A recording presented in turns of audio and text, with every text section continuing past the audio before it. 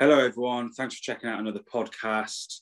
Um, as you can see, Luke's got his child on him. Um, but yeah, we wanted to do a quick intro for this episode. We spoke to Ritchie at Fuji X Weekly and Ricoh Recipes. Me and Luke have been using these two apps for for some time now. Um, we just kind of stumbled across them ourselves and then kind of reached out to Ritchie and um, yeah, had a chat with him. And he's really intelligent guy. You can you know, he, definitely knows his stuff when it comes to um, the recipe side of of those those particular cameras.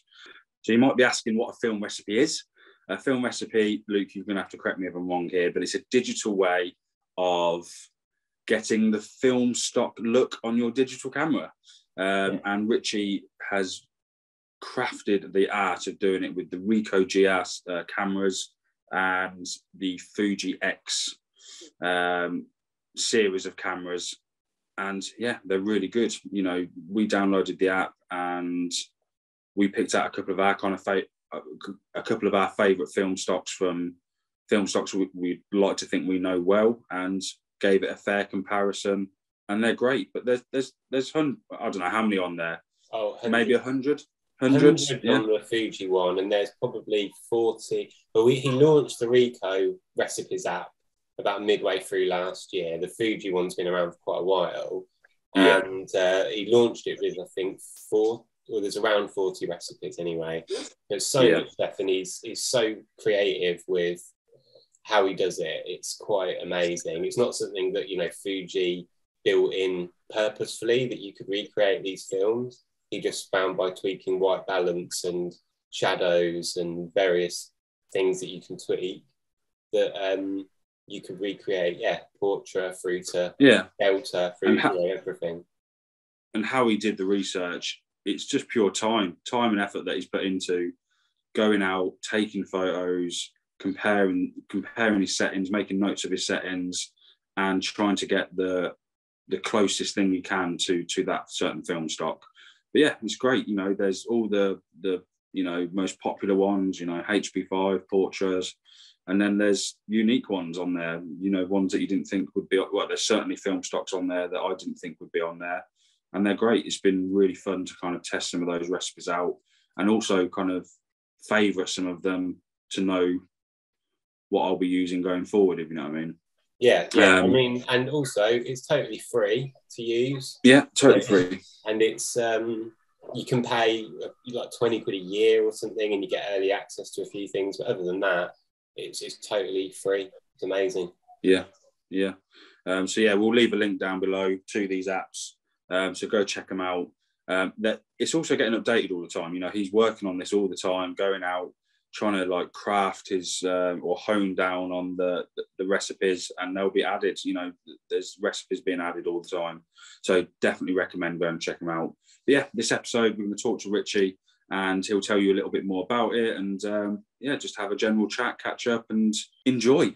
I suppose we should tell you a little bit about front as well. If you haven't seen already um, we've updated the website. It's not fully launched yet but there's a little bit more of a teaser on there when you go on there at the moment. So feel free to go and check that out. Again there'll be a link down below. And if you haven't already subscribe to the mailing list um, and you'll get notified when the website launch uh, when the website launches which will be soon. Um, we just, again, we know it's took longer than we wanted it to take, but we just want to make sure it's as good as it can be when we do launch. Um, we've even held back on some of the, the kind of second and third stages of the website that we'll be adding later down the line.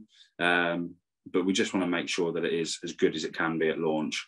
Um, but thank you so much to everyone who's reached out and sent us messages saying they can't wait for the website to launch or, or just general support. You know, it, it, it really is, uh, you know, super motivating when we get those messages, and we're so grateful for them. Um, but yeah, for now, check out the podcast, subscribe to the mailing list, and if you do like this video, give it a thumbs up and subscribe. Drum roll, please.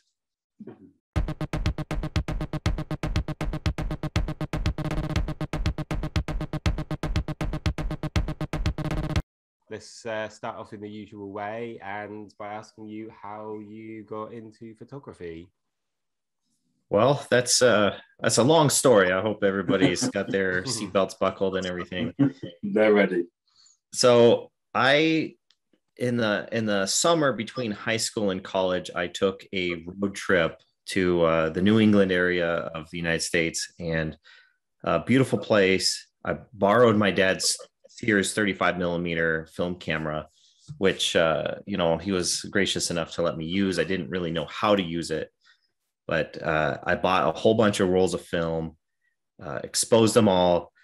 I was so excited when I got back home and I dropped them off at the one hour photo lab if you remember those, you know, that was that used yeah. to be everywhere, but now it's yeah. you can't hardly find them at all. And but when the pictures came back, they were absolutely terrible. They were awful. Mm-hmm. They were, you know, not focused correctly. They were definitely not exposed correctly. They they were just awful pictures. I was so disappointed. And so that that uh, fall when I enrolled in my freshman year in college, I took uh, photography 101 as an elective because I wanted to be able to take a decent picture and then I just ended up falling in love with photography. So that's uh, that's how it all started. Was that? It's, it's, pretty cool that you you know even though you got them first few rolls back and it didn't put you off, it only you know made you more determined to to learn yeah, so photography, right? I was just talking to somebody uh, a couple nights ago that had almost the exact same story, but instead of it uh, making them want to pursue photography, it did the opposite, and they never learned to take a picture. But but their story was the same where they they borrowed their dad's camera they you know loaded it with a whole bunch of roll of film they got it developed it was awful. But you know for me it drove me to actually learn how to take a picture. And i didn't expect to you know fall in love with photography and and you know make any sort of impact in the photography world. But i just you know at the time i just wanted to learn how to actually have a decent picture. But it just you know i you know like a lot of people once you start dabbling in it you just fall in love with it.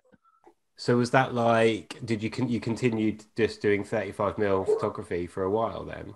Yeah i i did uh, film photography. I was a digital holdout for for a while uh, when i first learned photography it was right at the cusp of when digital was starting to hit the scene and it, and it it definitely wasn't big it was it was a very small thing at the time and then it exploded but I remember for a long time you could I could tell if a picture was captured digitally or on film just by looking at it. I mean, you could just tell. Yeah. And over time that kind of changed and now it's it's definitely a lot harder especially with you know presets that people have or or cameras like the Fujifilm or Ricoh uh, it's it's a little bit more difficult to tell if something is actually film or actually digital. But for a long time in the early stages of digital photography, it was really tough I mean, it was really easy to tell uh, that the uh, the the differences were were huge. Yeah, for sure. So yeah. so I didn't want to get in on any of that. You know, I was yeah. like, film is better. yeah, yeah. I remember a friend of mine had an SLR DSLR, and it was like two megapixel sensor mm. or something like that, and it was almost worthless. It was like impossible to use you couldn't get a decent image. And even if when it looked kind of all right in the tiny little screen that you could see on the back no. and you'd blow it up, it was like just complete trash. What was like the first digital camera that you started using? So I got into uh, digital photography about uh, 10, 11 years ago. Mm. It was a it was a Pentax DSLR and I don't I don't remember the exact model number, but the reason I got into Pentax is because I had a Pentax film camera and some lenses uh, for that, and they were compatible with. Uh, I, so I could use my film lenses on the digital camera. Uh, yeah, yeah, that makes sense.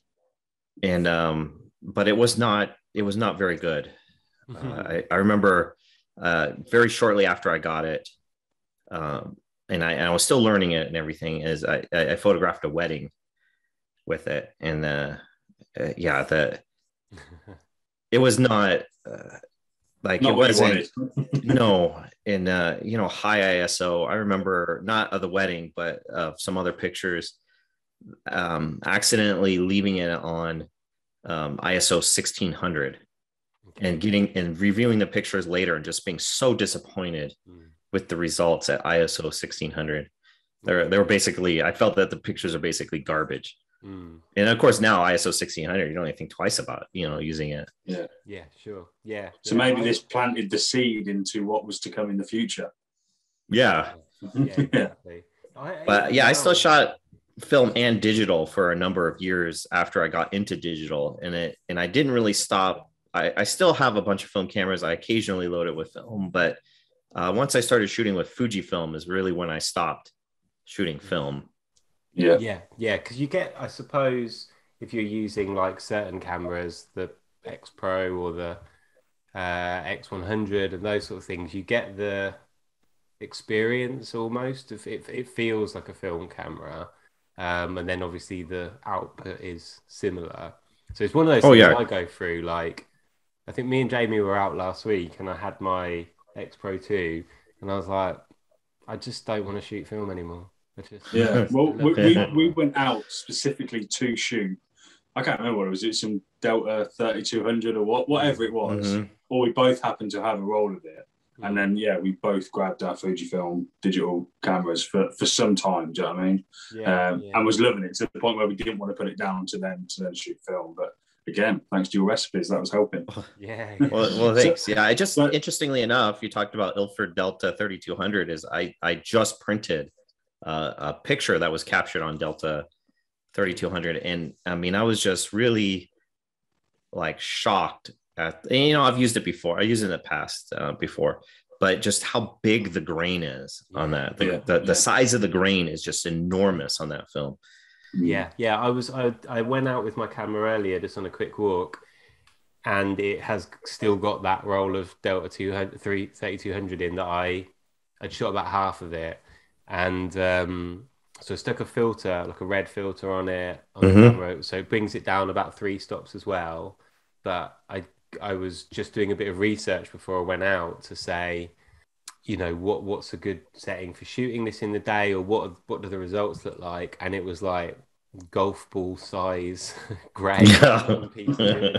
so the reason I printed it was because I had captured on uh, Fujifilm camera, I captured accidentally an image that I really liked, but I accidentally captured it at um, ISO 51 200 like the absolute yeah. highest like that iso that nobody would ever use yeah and the, and the reason for that is i have a fujifilm xe4 which doesn't have the um, iso knob on the top like a lot of them do so i programmed the front wheel to be the iso knob basically and i accidentally bumped it and and then the next thing i know i'm shooting pictures at like a super ridiculous iso completely unnecessarily yeah. And the, I was the, really the why is it there ISO? yeah, exactly. And and you know, but I, I really like the picture. I, I I converted I did the in camera raw processing and converted it to black and white uh, using one of the recipe, film simulation recipes that is intended for really high ISO. And I printed it and I also printed the Ilford Delta 3200 image so I could compare. And and the difference is pretty staggering. Uh, the picture actually looked good. Like I, I, would put it on the wall in, in the house, even um, even though it was captured that high. I printed it at uh, eight inch by twelve inch mm. size, and um, but the, yeah, the Ilford Delta thirty two hundred, the, like like you said, golf ball size grain on the thing is is insane. Uh, the the grain the grain you know yeah, uh, yeah. the faux grain that they have in the in the Fujifilm cameras plus the you know the the digital noise that kind of has a grain like look to it a little bit is is so much finer I imagine that it would be more like if you were maybe using uh, shooting like maybe medium format Ilford Delta 3200 as opposed to 35 millimeter. Maybe the I, I assume the grain would actually look a lot smaller. Like literally, we started talking to you, and then I was like, "Why? Why are we talking? Let's just get this recorded on the podcast." But so you're in Utah at the moment. So have you always been based in Utah or, or surrounding area? No. Uh, so uh, I guess to go back, my dad was in the Navy we moved like every year when I was a kid. It seemed like seemed like every year around Christmas we moved somewhere new. Yeah. But uh, uh about uh, five years ago, or about five and a half years ago, my wife and I moved to Utah because that's where my job sent us. Before that, we were in California, uh, and before that, we were in Arizona. That's actually where we met and got married. Was oh, Arizona. Nice. Uh, Utah is beautiful. It's a beautiful state. Uh, you know, right out the front door, we have like a vista of the mountains and stuff. It's just absolutely incredible. What I get to see every day. Like your office does, then yeah, then that's insane because your office is about the size of my house. Yeah. yeah. so this is actually uh, we we recently moved the the office. It was uh, a couple as of a couple weeks ago. It was in this little corner uh, that was probably about the size of a coat closet, mm-hmm. and uh, it was just it was just way overcrowded. It, it, it didn't it definitely didn't look good for you know any sort of like uh, videos or anything like that. So we moved it uh, to the living room's kind of like split in half. So we took half the living room and basically turned it into an office nice, nice to have that space. Yeah, it is. It is really nice. So the so the living room you can't, you know, you guys can't see it, but it's just off to the side here. So the yeah, so you've got some beautiful views out of your window at the moment. Oh yeah, it's it's insane. It's stunning. Yeah.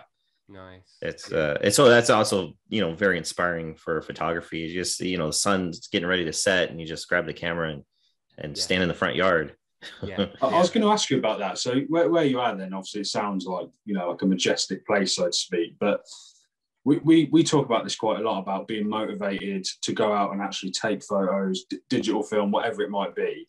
But it's hard to get motivated sometimes mm-hmm. Around your own house. Do you know what I mean? Or, or in your own area. When I've been challenging myself to kind of go out and explore my you know my back door, so to speak. Do you know I mean? Like so, like locally, like within walking distance. Do you find yes. that it's ever a struggle for you as well, or or is it you know yeah, not, so much out there? Not here. It's not a struggle. Mm. Uh, j- just because uh, it's like you know a short you know walk will lead to like some really great opportunities, or or short drive will lead to even more. Yeah. Uh, but uh, the the photographs that I I really like to capture aren't local. Yeah. Yeah. So, yeah. so like if I want to do um like urban or street photography, I mean I just I don't have to go that far. Uh yeah. Salt Lake City isn't that far away. So I mean I could I could get in the car and drive, you know, 30, 45 minutes and get to a place like that. Uh what the I really love is like abandonment type, like abandoned buildings, that kind yeah. of photography, urban exploration. And there's really not a lot of that around here. Yeah when we were in California, it was everywhere. Yeah.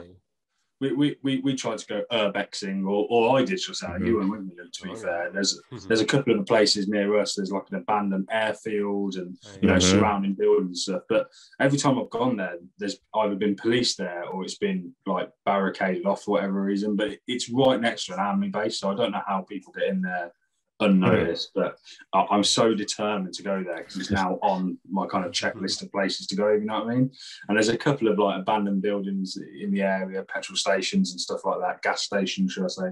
Um, so yeah, it's always fun because you know I always think that when you come across something like that, I assume that it's already been photographed a hundred times before. So it's putting your own spin on it. Do you know what I mean? And and yeah you know, trying to show what you see that is different to everyone else. Um, but yeah, easier said than done. Yeah. So I, I got a funny story. Um, I was doing some uh, abandoned building photography in California when we lived out there. And there, we lived out kind of by the desert, and there was there were so many things: abandoned military bases, you know, just abandoned mines, all sorts of stuff. There was uh, uh, this abandoned house that I that I went into, I was I was in there taking pictures, uh, photographing it, and I I'm like in the second floor, and I look out the window, and there's a police cruiser outside. I'm like, what's going on?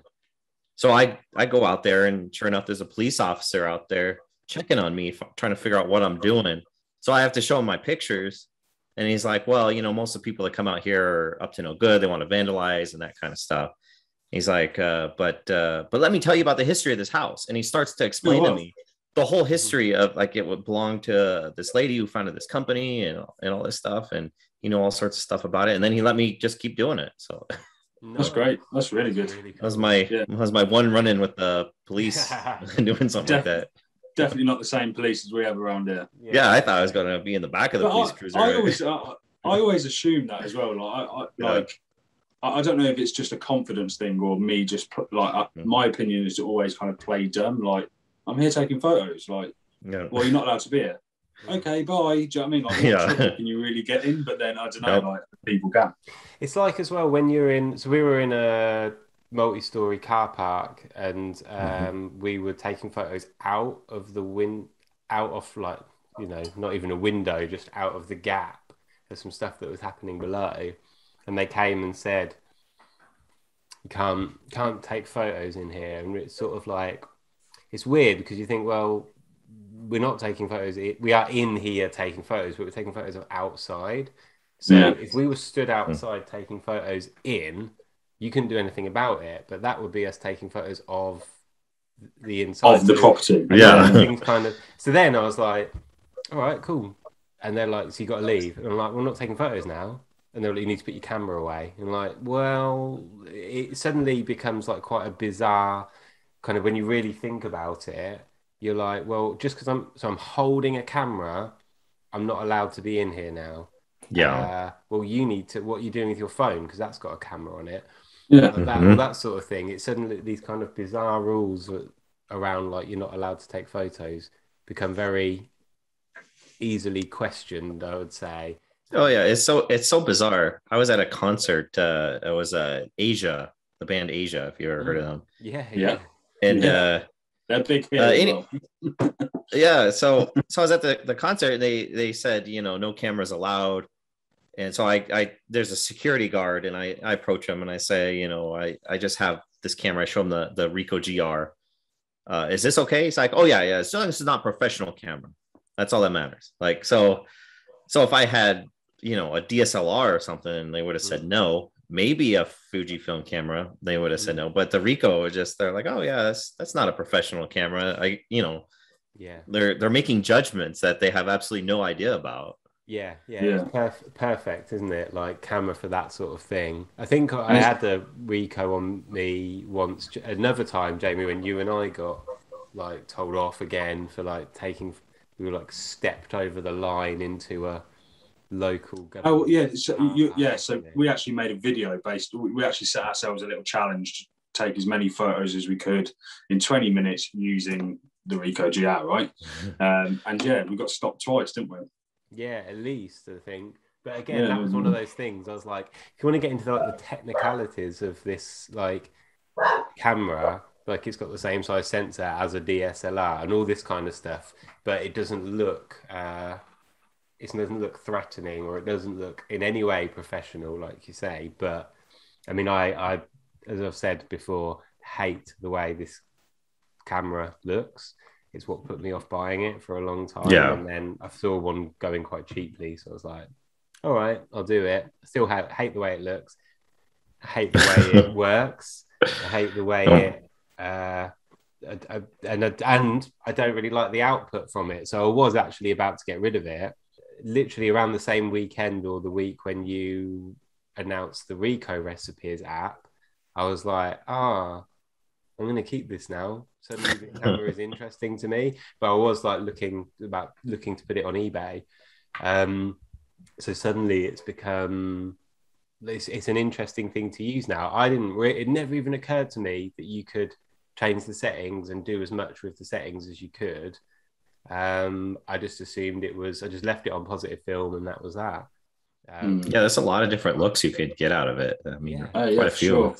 Yeah. And I've definitely learned a lot through that recipe app itself, which we'll get on to talk about in a moment. In a moment. But I'm like, I've, I, I don't know, I, I like the look of the Ricoh. Like it's it's so different, which is why I kind of like it. But then I think I was hooked after when I first used it, if you know what I mean, because I could see way past what the camera looks like. But I did the same thing as Luke. I, I was looking to sell mine to get a Fuji X100. Like uh, I, I got the Fuji X100F but I was going to mm-hmm. sell the Ricoh to fund that, and I end up I've got both now. Do you know what I mean? But I use them for different purposes.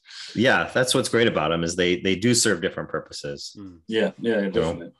It depends on yeah. the situation where you're going to. I mean, we're not here to sell mm-hmm. the cameras. We, we know the kind of the features of them, but yeah, two yeah. two different cameras, but both very powerful. Yeah. So you talked about the camera being a little bit uh, ugly, maybe. I had a uh, uh, a Sigma DP Merrill. You guys remember those? Have you ever used those? No. Yeah, they they have like the Foveon three layer um, sensor on them. Those were those were ugly cameras yeah, for sure.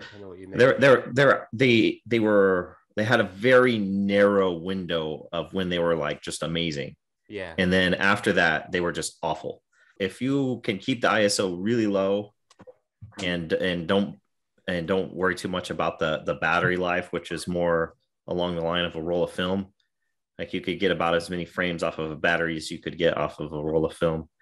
Uh, if you could put up with that and uh, and then put up with their extremely awful software that you had to use for the raw files, the JPEGs are awful. You had to use raw files. And their so- you had to use their software to at least initially put it into a TIFF that you could then you know, put into wow. another program. If you could put up with all that, it was wonderful. yeah. when was that? That was around 10 years ago, that camera? Uh, they may have came out initially around 10 years ago. It was about uh, probably six, seven years ago that that I was using it. Yeah. Probably. It feels like a very 10 years ago kind of thing that I remember that's when I bought my first DSLR almost 10 years ago and it came with all this software and stuff and you're like mm-hmm weird what like coming from film into this i was like i just take some photos and then look at them it's like but you don't really get that so much anymore i don't i don't think mm-hmm. um but yeah so like we should talk about the uh the apps both for the fuji and the the Ricoh yeah so give, give us give us a give give someone who would know nothing about what it is a rundown of what it is and then we can deep dive into it Hmm. Okay, so so what I do, and I started doing this about four years ago, was creating uh, basically JPEG settings for Fujifilm cameras. Yeah. So it, uh, you could get a certain look straight out of camera by adjusting the JPEG parameters. Um, you can shoot RAW plus JPEG or, or just JPEG or however you want to do it, but you can get a, basically a finished image out of the camera. And the reason I started doing this, I, I was a RAW shooter for a long time and I had uh, got a Fujifilm X100F. It was actually my second Fujifilm camera. The XE1 was my first. I, I, was shooting RAW plus JPEG, and I went in and I edited some some of the RAW files. And when I was done editing them, and I was happy with how they looked, I compared it to the JPEG, and they looked very similar. Mm. So I thought, you know, why am I spending all this time editing my pictures when I can just get it right out of the camera? I started messing more with the parameters and and creating these different settings to get these different looks that I called recipes. And I couldn't tell you why I called it recipes. it was just something I called it, you know, four years ago. And um, and so these these film simulation recipes, as I call them, uh, I started accumulating more and more. They started getting more popular. My wife says, you know, you should have an app that would be really good for an app. And I said, well, that's great, but apps cost a lot of money uh, and I started researching it. And you know, putting out an app like that could could be forty, fifty thousand dollars to to, yeah. to hire an app developer to do that. Hmm. Uh, there was uh, a a, uh, a guy named Sahan that he is an app developer, and he also shoots Fujifilm cameras. And he said he contacted me and said, "I think your film simulation recipes would be great for an app. Let's partner together and get an app out." And so basically, he did it uh, for uh, you know pretty good discount because mm-hmm. he's he wanted that, to have the app for himself as well. You know. Yeah. So we we worked together, and about a year ago, it was uh, December first of last year, the app actually launched on Apple. And then a few months later, we were able to get out for for Android. And then um, in May, I got a uh, Ricoh GR the uh, original Ricoh GR camera, or not the you know not the original, not the G GRD, not the film, or the yeah, not the not the film, not the GRD, but the you know the the APS-C mm. Ricoh GR, and um and uh, I started uh, when I got that, I started playing around with it, and I started making basically you know same thing, you know recipes, JPEG recipes for that camera, and then uh, I don't remember what was it August or September, I think maybe September um, I launched the website, I launched the app, you know, pretty simultaneously uh, for that. Uh, and, and, and I'm going to add to that as well. I'm working on the next uh, collection mm. of recipes for that right now. Yeah. So so more so to come. Many, so many already, isn't there? Like yeah. Well, I had a question about that, but based around the amount, because what I really like about it is that it like it's beneficial to any level photographer. Do you know what I mean? Like myself and Luke, like Luke, like you probably won't like me saying this, but you are way more technically minded than me when it comes to cameras. Where I I would just like, oh, that's that's a cool camera. Let me look into the somewhat features of that. I'd rather be hands on and kind of test it, right? Where Luke, you're like, I've researched, I know this is for my sort of thing, but still, when it comes to the recipes, me and Luke will talk to each other and be like, oh, have you tried this recipe out yet? Have you tried this recipe out yet? And we'll go out, and I think that's great. Like for me, it's it, sometimes I'm just inspired to go out and shoot for no other reason. Just I want to get out of the house for a couple of hours, right? And I will just literally go through the app and I'll just pick a random recipe and I'll stick to it. Um, or you know, like I said, I'll save it to the camera if I like it and go back to it. But there's no way even you can remember all those recipes, right? So I'm guessing it helps you out just as much. oh yeah, I I use the app as much as anybody else. You know, maybe yeah. more. Yeah. yeah. well, especially like the the the Ricoh, There's um I forget like 40 recipes or so on there, and uh the the Fujifilm one there's like almost 200. So yeah, that one is. It, it used to be um, back before the app, before there was even 100 recipes. There was the ones that I use most commonly, I could rattle off, you know, yeah. very easily to you. But but anymore, it's like, well, I think it could be this, but I don't really remember. Mm. But the but yeah, the app allows you to to take these uh, settings with you on the go because uh, the Fujifilm cameras they have seven presets that you can load um, recipes onto, and uh, the Ricoh cameras have six like three that you can actually have on there, and then three waiting in the bullpen, basically. Yeah. Um, and and and that's that's all you can program which a lot of times that's all you need but if you're out somewhere and you're like well the conditions aren't what i thought they were going to be or i think this other settings might do better you could just pull up the app uh, find it program it in and then you're you know you're good to go right right because i was going to say about that just well we, me and Jamie were talking about it. I was saying it's like one of the faults of the Ricoh compared to the Fuji is that you can't. I didn't realize you could save anything. I've got mine set to a monochrome. I can't remember what it's called, monochrome something. And when I switch it to color, the white balance is completely wrong. Uh, yeah, seemingly anything, but it works really well with the black and white. So I'm having to like change settings all the time. So I do just tend to leave it on the the monochrome one now, but I'll have to have. Yeah, that's and that's another thing is the white balance always. Uh, the new the newer Fuji cameras will actually you can program the white balance and white balance yeah. shift and all that stuff into them, but um, the older Fuji's you can't, and the the Ricoh, you know, unfortunately, there's just some settings that it won't save. And I think mm-hmm. it's because the manufacturers didn't really realize how people are going to be using their cameras. Mm-hmm. Yes. And uh, yes. so I, I had a question based around kind of like how you go around to get the recipe in the first place. Mm-hmm. Like, is it like is there a research process? Do you have to physically have a hands-on go with the camera itself? Because you know, there's so many recipes, but there's also you, you know you you put what cameras it, that recipe is available mm-hmm. for, right? So how what's the process and the research behind that? so um, every recipe is a little different in how it comes about. A lot of times, um, it's uh, it's either something I want to create or somebody somebody suggested that maybe I should create. I look for eh, you know a lot of times it's based off of film. It's not always based off of film. Yeah. I'll look for examples of the film. I might have it myself, which is always the most helpful. That's the most ideal is if you actually have physical copies of the film yourself to to compare it to. But if you if you don't, then you have to go and try and find some, you know, online, hmm. uh, in magazines and books, um, if you can, in that kind of thing. And I'll try and replicate it. Uh, usually takes uh, a lot of trial and error to even get to where it's close. Nowadays, uh, especially with the Fujifilm cameras, I have done it so much times. Uh, I can generally look at something and be like, well, if I do this, it should be pretty close to that, and then I can refine yeah. it from there. Uh, and a, an example of that is uh, recently somebody said, uh, "Can you mimic this look?" It was a look of a of a certain photographer who was using a preset of some sort. He was shooting raw and using a preset that kind of looked like Superia film. Yeah.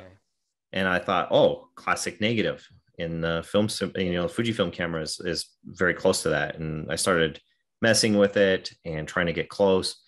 Well, the the trouble is is you can't always get exact. So as I was going through it, uh, you know, I can get the blues to look right, but then the greens don't, or I can get the greens to look right, but then the blues don't, you know, and stuff like that. Yeah. So trying to find maybe that middle ground where it looks really close to both, maybe isn't a hundred percent spot on for either. Mm. Uh, things like that. So there's a lot of trial and error. Once I have it where I think I got it right, then I'll go out and actually use it for a day or two, uh, mm-hmm. take a you know take a whole bunch of pictures and and see if I still like it. Yeah, you know, and sometimes I do, and then sometimes I'm like, well, if I do this little tweak, it'll look better, and so then I'll do that tweak, uh, shoot with it again, and if I like it, then it'll become a recipe. And if uh, there's for every recipe that gets published, there's probably two or three attempts that never made it to, to anything. I didn't like how it turned out. I wasn't successful. Yeah, I bet that's crazy. I, I, I, really respect that because that I, I, was trying to work out in my head how I would do it without speaking mm-hmm. to you first, if you know what I mean. And the only way I could imagine was go out and shoot the film stock, have that as a reference, then you know play around with the settings in the camera, go out and test that. Hope that the lighting conditions are somewhat similar, so yep. it's a fair comparison. And then if you don't like it, you've got to go back out, same conditions, do it all again. And you just said that that's kind of what you have to do. So yeah. one recipe can take you kind of unlimited time. You, you know, you might look yeah. out and get there a bit quicker, but you're always working and developing on it.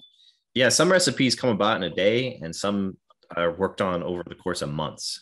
You know, yeah. it's just even like various different ones on the like I know for the Fuji one, there's like quite a few different Portra uh, mm-hmm. recipes, for example, like even just mimicking the different like 400 or 800 or yeah that's a, that's a really good point because like um like a film depending on how you shoot it how you develop it uh, how you scan it all those things can make a difference to how it actually looks yeah. so two two photographers can shoot Portra uh, Portra 400 and come out with like vastly different aesthetics from that film yeah and so i have two uh, Portra 400 um, recipes for the newer cameras, uh, Portra 400 and Portra 400 V2.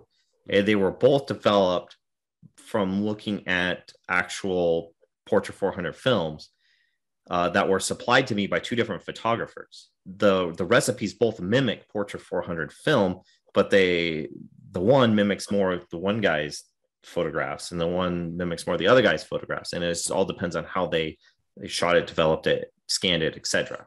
Yeah, yeah, that's really interesting because I've, I've had, yeah, obviously I've noticed that there's two on there, and I did wonder what is the, what's the difference. I kind of assumed it was just there was two different versions that you created and you liked them both, um, and that would allow people to see which ones work best for them. But that's really cool that that's how that came about. But yeah, I just imagine there's so much trial and error and real frustrating like, oh, sometimes it's really frustrating. yeah, yeah. I didn't know if you'd have like one wall of Fuji cameras, one wall wall of Ricohs, and then whatever else you're working on on the next wall.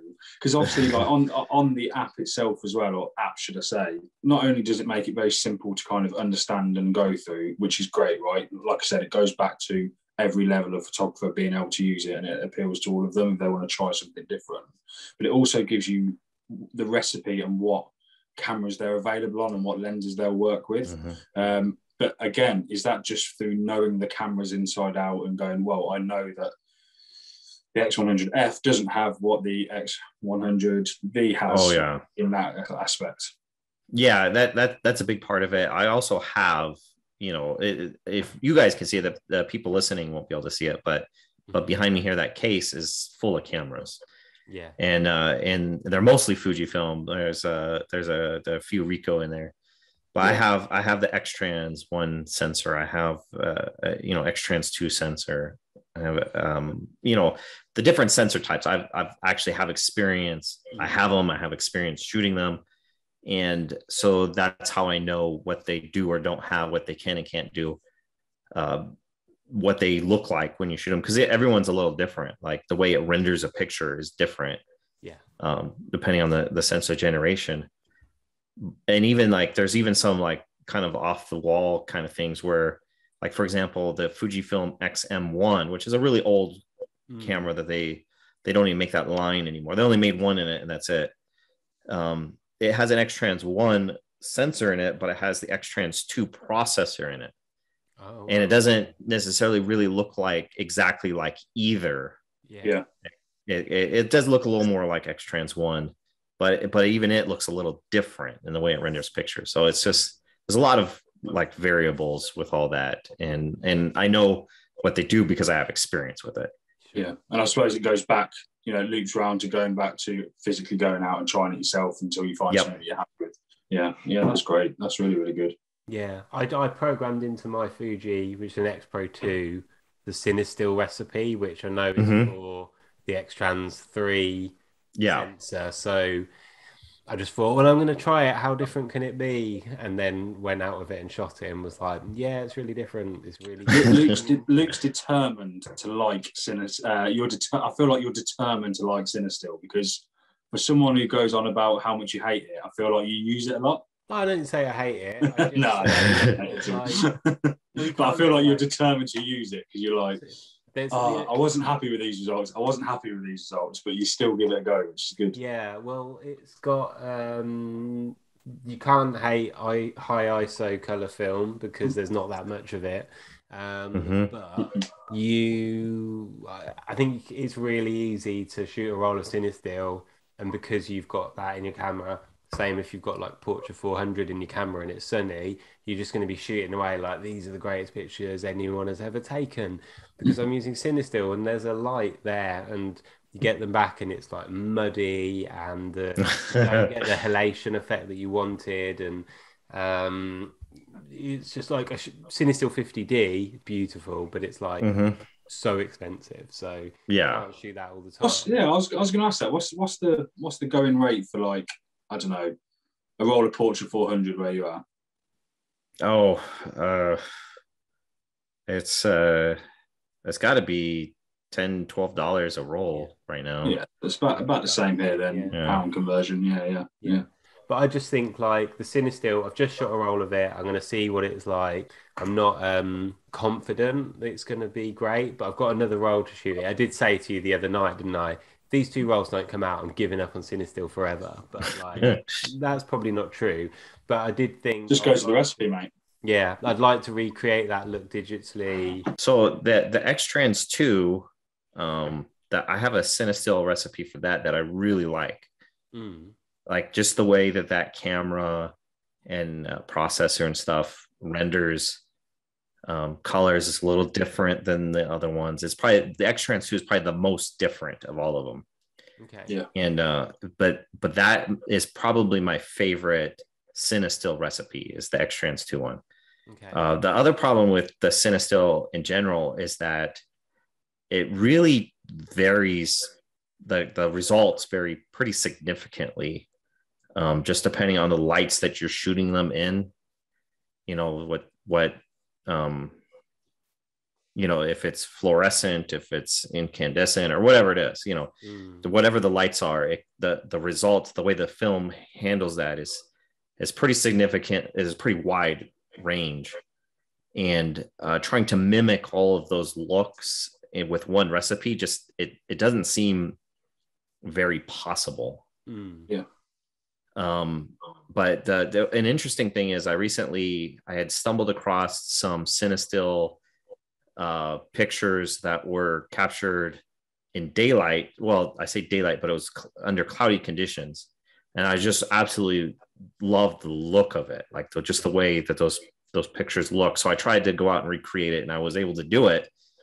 But I did it so I was making the recipe to be used on cloudy days, right? Yeah Okay. And I and I when I developed it and was happy with the results on cloudy days, I hadn't tried it in in at night and under different conditions and stuff.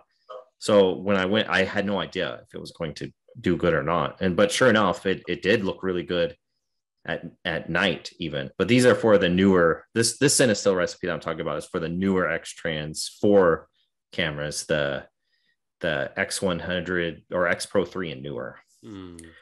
Well, that that would definitely go well down well in the UK because that's that's our weather, you know, Yeah. muddy and cloudy. Yeah, yeah, yeah. I did. I shot like a different. It was called Kodak Vision Three. oh yeah. Like the the tung. I think there's a few different ones, but there's a. I think it's an 800 tungsten film, and um, that I thought, oh, I'll try that out, and I did shoot a load of it in hmm the day, but cloudy, and it looks awesome. Like real kind of weird ethereal look to it, and it doesn't have like the kind of hip coolness of Cinestill. Um, Yeah. I think they've just kind of rebranded it like recently, but before like it looked really had an- an old but not in a particularly cool way like look to the film case and all of this stuff. That's a really nice one, but it doesn't give the little red glowy thing or anything like that. that Yeah. but that's a really nice one. So yeah, like maybe Cinestill in the day is another one to try with our Mm. beautiful weather. And is, is there anything that you're kind of like obviously you know we'll shout out about the apps we'll put a link down below and we'll encourage people to kind of give it a go because you know well i'm sure we know we've spoken to people that are using the the apps themselves as well and we oftenly talk about film recipes that have come from yourself which is great but obviously we want to we want to promote that as much as we can and tell people to start using it but is there anything else that you're currently like working on outside of you know the Ricoh recipes and the Fuji recipes? Is there is it just a case that you're working towards more recipes, or is there like a, other projects that you've got going on? So um, obviously, I'm always working towards more recipes. You know, that's you know that's what I love to do. I, I enjoy it so much, and um, you know, obviously, if I didn't, I wouldn't have created, Yeah. uh, you know, basically t- 250 recipes. You know, for the different Yeah, yeah. for the two brands. But uh, uh, what I'm currently a project that I'm currently working on, and I've been working on it for a little while, but it's it's still very much a work in progress, and I don't know, I have no idea when it's going to come out. Yeah. But I'm working on an iPhone camera app Oh wow. Wow. um, with kind of a similar premise to to the recipes. Uh, obviously, you won't have to program anything in because it'll already be programmed in, but where you can get the results, uh, get interesting results uh, without having to edit the pictures and that kind of thing. That That's the really idea is you'll be able to just pull up the app. It'll already be uh, defaulted to a to a uh, filter. So when you when you pull up the camera app on there, what's uh, what's kind of you can you you can actually it just it doesn't have a filter applied, right? Hmm. Yeah. But but you can apply the filters, the built-in filters, if you want to. But it's like three steps Yeah. to get to it. Nobody ever does that. I mean, maybe a few people, but for the most part, nobody nobody does that. They'll they'll go in later and then they'll edit it in the maybe in the Photos app or a different app of some sort, RNI or VSCO or something like that. Um, but the but the idea is that you won't have to go through those steps. You'll be able to just get it right as soon as you open the app. You'll have it right there, and then you won't have to edit it, and it'll save you time. Nice. That's really good. I, I think that's like that's a positive thing to be doing as well because you know as much as like you know you get your hardcore kind of just shoot analog all the time you know whatever camera it might be but purely film right then you have like the, the newer age of digital photographers and then you've got the people that just love everything which is ourselves Mhm. right but then uh, and to, to the point where I, like, I do quite a lot of photography on my phone granted it's probably more kind of day-to-day kind of family life kind of stuff but I would definitely use that if that was something available. Just because I, I always take a photo and I'll put it straight into Lightroom and I'll just mess around with it. You know, I don't No. really care too much because I'm not going to really get it printed, I guess. But um, if the opportunity came up to be able to take a photo, there's a lot of photographers doing it now, isn't there? Like I saw Joe Greer. He's posting photos that he took on his o- on, on his iPhone, and it just makes you think that you can be at the top of your level. It's still a camera at the end of the day, isn't it? Yep, it's still a good tool that you can use. Like I only use mine, you know, if I'm at like an event or you know, Yeah, yeah. you know, may, maybe uh, uh, birthday or Christmas or you know, it's just something that I want to snap a picture of, you know, the kids running around or whatever it is. It's just convenient because you have it with you. It's in your pocket, and it does decent enough. You know, you're not gonna you're not gonna have an art gallery of these pictures most likely, and um, and even even if you did, you know, the quality is good enough that you, you could probably get away with it, and people wouldn't necessarily notice. Yeah, well, yeah. we yeah. we had someone that we spoke to, uh, who originally we spoke to him, who was because uh, we liked his photography, mm-hmm. and he was like, "I'm not a photographer. I shoot it all on my phone." And we were like, "Sure, you are. You're taking photos, so you're a photographer." And then the next time we spoke to him, it was because he had a gallery exhibition, and every single photo in there was taken on his phone. And, and he still claims not to be a photographer. He's had his own gallery yeah. and, and only shoots on phone. He, he is a photographer. Yeah, and I That's think he funny. Had, he had one photo that he uh, struggled with a little bit of like digital noise that you perhaps wouldn't mm-hmm. have gotten on a bigger sensor, but otherwise, um, it was like you you wouldn't have known unless it had, you know been pointed out. But really. they're here as well, aren't they? They're here to stay. You know, they're not going anywhere. They're only going to develop yep. more stuff. And I, I, was having this argument. Well, not even argument. I was arguing with myself, I guess, because my, my phone contract comes up in January, and I was mm-hmm. like, you, you know, and you know, if I just upgrade, I'd probably get the newest iPhone, you know, whatever it might be. But for me, like I wasn't first. I, I, I've got no desire to get the newest and latest model, just because I don't really use the camera, or I would be more than happy with an older version for what I personally use because I know that I don't really do any like real photography. Like when I go out and shoot, I don't take my phone. I'll take one of my cameras, right? Um, whether it be digital or film. But then at the same time, it's I'm arguing myself. Well, surely I still want if the times that I do use my phone, surely I want them to be as good as possible. But I, I, don't know, it's just kind of finding that balance. And obviously, you've got the cost to kind of consider as well. Oh, but oh, yeah. for the majority, you know what? I don't know what the percentage of people have an iPhone, but it's got, it's, you know, over 50% of the people in the world yeah. probably have an iPhone, right? Yeah, don't hold yeah. me to that quote. yeah, and I, my, I, I don't have, you know, the latest and, and greatest. I actually had a, when I first when the app first came out, the the Fuji X Weekly app, uh, the i the the phone I was using was actually over three years old. Uh, it was over a mm-hmm. three year old iPhone, and uh, and I was like, well, you know, if I'm developing apps now, I probably ought to get like something newer. But even when I did, I got the the the model year old. Not it wasn't the latest yeah, yeah. one, but the yeah. one prior. I remember having the iPhone 8 Plus, and okay, I absolutely loved it because it was mm-hmm. it was the first time iPhone did like the bigger version of their phone. So it was a huge screen, and I, and I love that like because I could see everything. I could edit on it quickly. Do you know what I mean? Mm-hmm. Just like little little photos or whatever it might be. I loved it. And when I upgraded, I can't remember what I've got now. Maybe the 11, I think. I don't know what the yeah, new one is. is 13? Yeah, so it's the 11.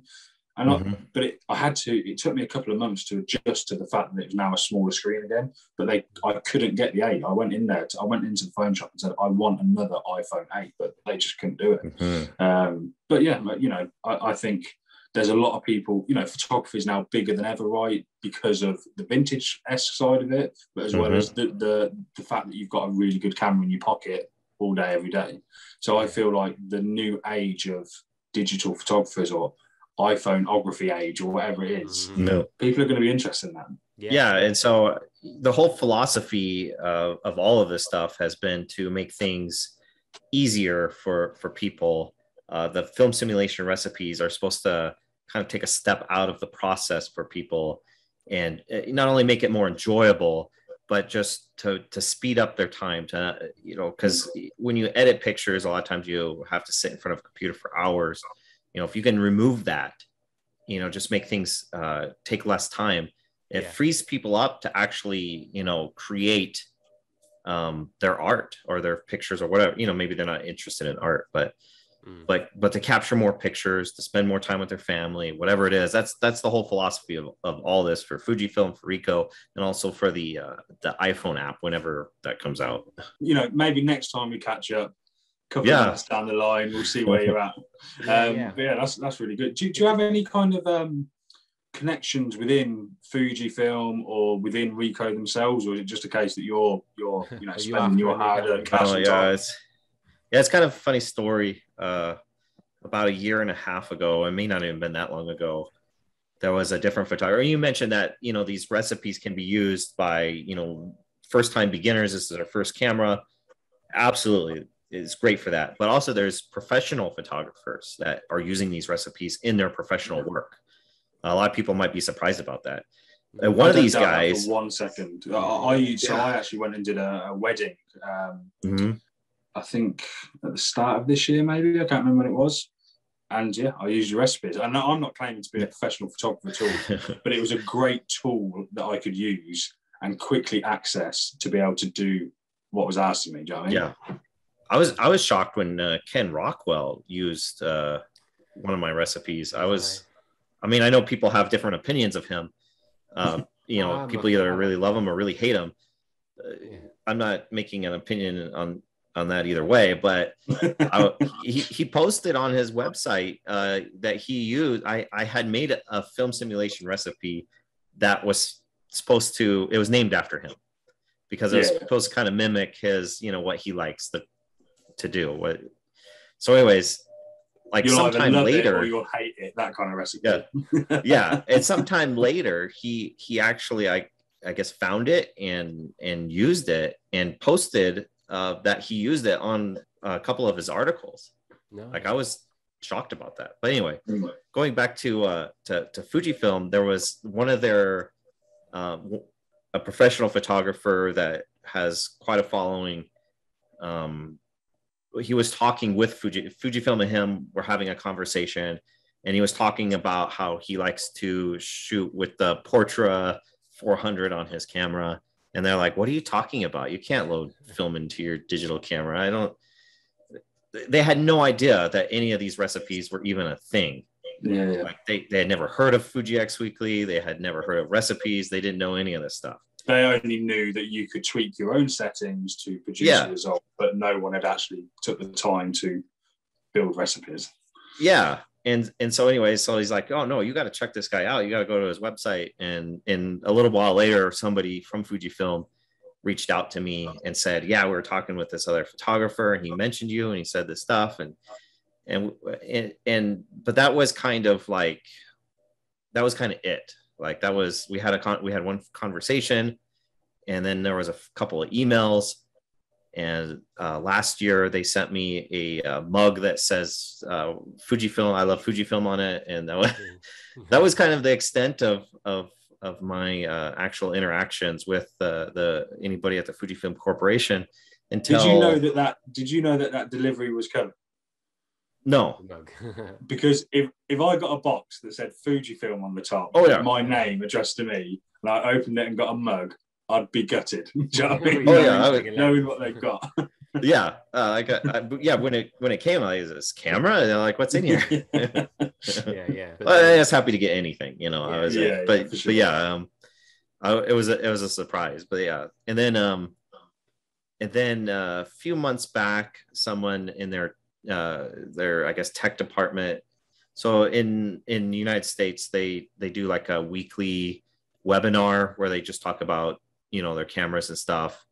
And they said oh we want we do this webinar. We want you to be a, uh, guest on the on the show. So they uh they invited me and i said yes. And then i didn't hear anything.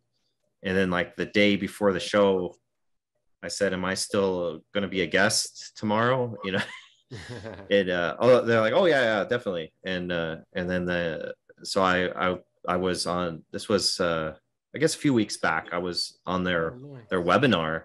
We talked about awesome. film simulation recipes and stuff, and then, and then that that was I haven't heard from them since either. So I I have had some interactions with the Fujifilm Corporation, but but very very little, and I've never heard anybody from uh, from from Pentax uh, at all. So, well, we we've got a, so it, randomly in Northampton where we live, we've got mm-hmm. a Ricoh.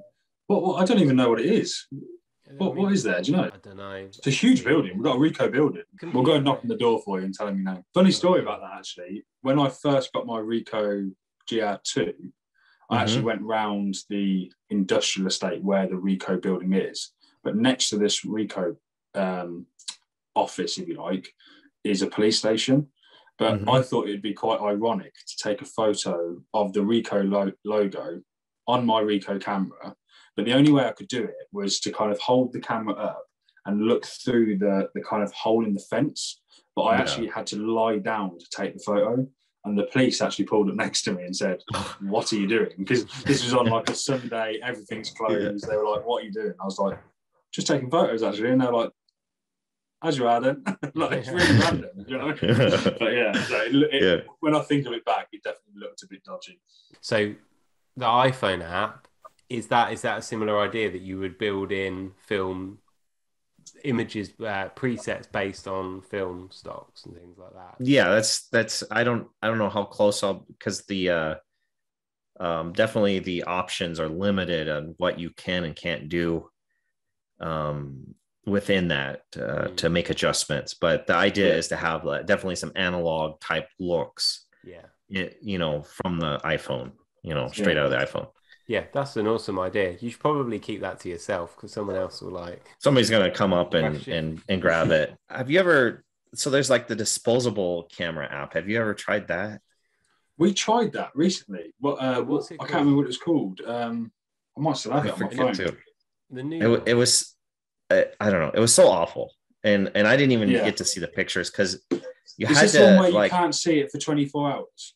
Yeah, yeah, didn't I'm sure we tried it, Luke. And you basically you take a photo. Well, you have to shoot 24, or 36 photos, and then it and it, so basically when you finish shooting the roll, you will then be able to see all 36 or 24 photos.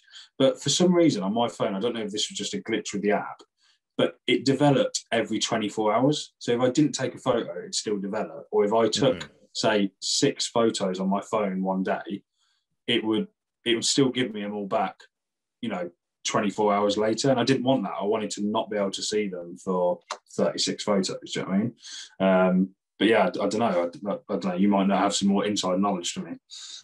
Yeah, no, I, I had pretty much the same experience and, and, and I, I deleted the app. I was like, this is awful. Yeah. I, so I'm hoping not to have something like that.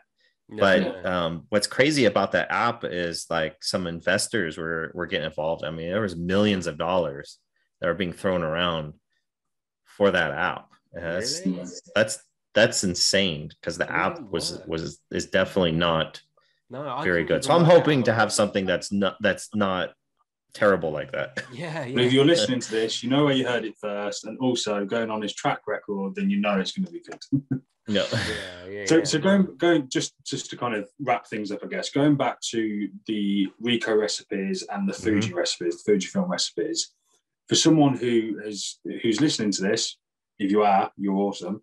Um, but if you're if you're going to download the apps, obviously we'll put a link down below. But what would you say is a good starting point? If, if you were just to throw out a couple of recipes for people to try to get used to the kind of app, what, what would you suggest? So um, obviously it depends on the camera that you have. Yeah. Um, so uh, let's say you have uh, an XT3 for example, Fujifilm X-T3. Um, you know, that Kodak Vision 3250D recipe is one that I, I really like. Uh, and, um, you know, I personally just really enjoy the results from that. I actually seen somebody share with me their pictures that they captured that recipe just earlier today. I was just blown away by how well it did in the snow. Like I never tried it in the snow. That's there's, interesting. There's so many. Just started snowing, huh?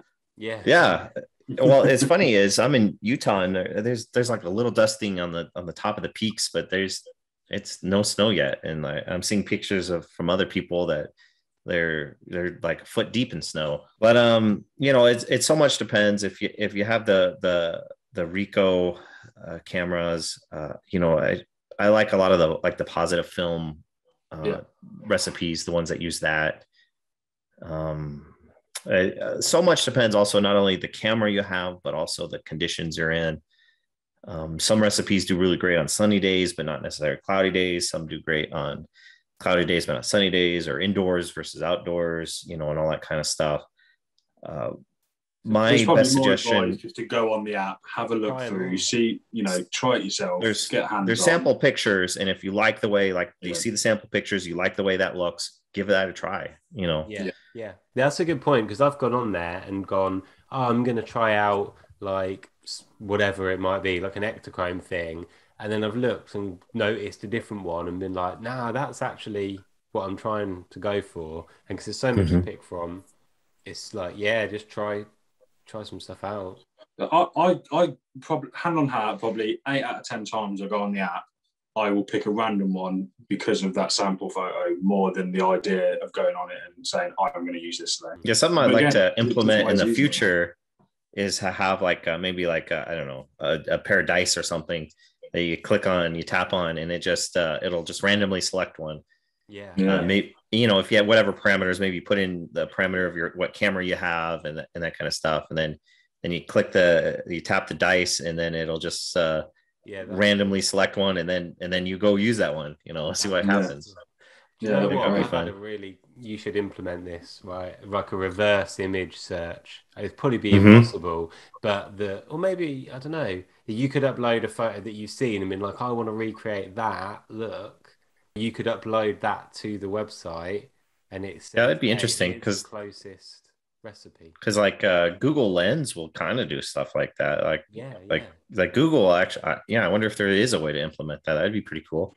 Yeah, yeah, I'll take like twenty percent. Um, yeah, like, yeah, yeah. That's that would that would be a good idea, but uh, yeah, God knows how difficult. But well, that's but the yeah. thing that's always like there's so much code that has to be written. I don't know enough about code to do it myself, so that's why I have to have somebody who knows what they're doing um, partner with me on this. But there's so much code that has to be written for even like so the so the Fujifilm app was just updated a few days ago. You guys probably saw that.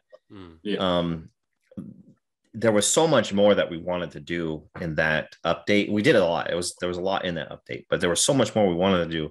But just the time it takes to put in all of that code um, was just it was dragging it out. So we had to to kind of cut it short of what we really wanted it to be and save some of that for the next update.